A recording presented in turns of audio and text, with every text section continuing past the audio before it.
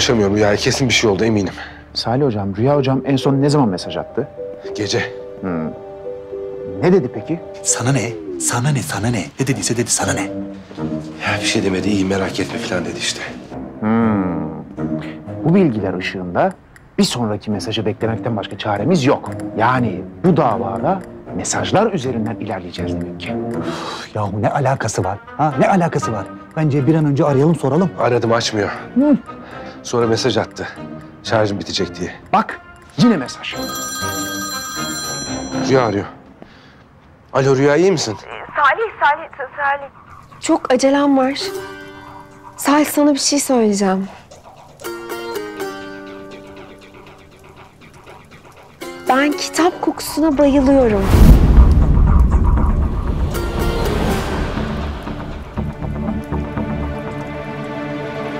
Zaman bozanlar. Biliyordum. Zaman bozanlar Rüya'yı kaçırmış. Nasıl ya? Sadece kitap kokusu dedi. Oh, şifre. Ha.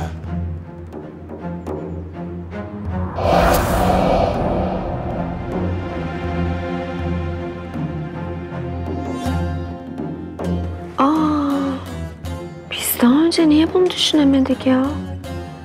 Salih, biz de bunu yapalım. Neyi? Şifre bulalım. Zaman bozanların birimizden birini kaçırma ihtimaline karşı bir şifre bulalım.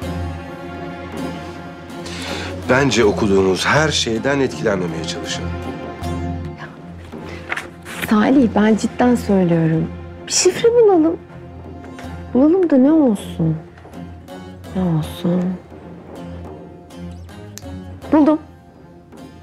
Kitap kokusuna bayılırım olsun. Olsun mu? İyi olsun hadi. İçime doğmuştu. Ters bir şey olduğunu biliyordum. Demek ki Rüya Hoca o yüzden kitabı yanında götürdü. Nasıl ya? Kitapta mı onlarda? Sen Asya'nın yaptığı gibi e, cep telefonun konumunu bulabilir misin? Bulurum bulurum da e, Rüya Hoca'nın dizüstü bilgisayarı lazım. Burada. Getir. Heh. Karışma sen. Karışma.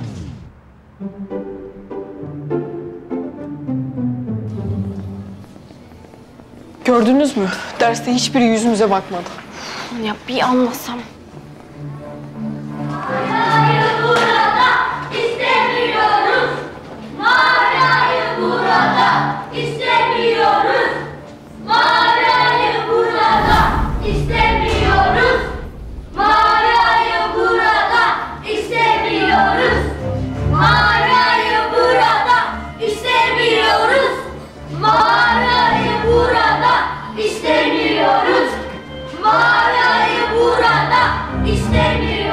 için işim. Kesin para vermişlerdir bunlar.